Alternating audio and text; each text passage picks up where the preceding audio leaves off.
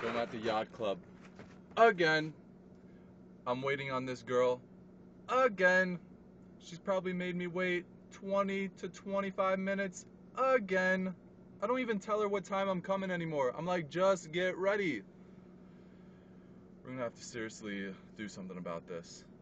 And I think burpees are the answer. For every single minute she makes me wait, I'm gonna try and get her to do one burpee.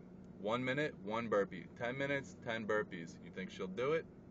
Probably not. She is so freaking stubborn. Not as stubborn as me, though. That's why we're gonna go to war today. She's gonna do some burpees. She's gonna love it. Anyways, it's just my way of getting the frustration out. I need to talk to you guys. You guys are my support system. You guys have been there for me in the past.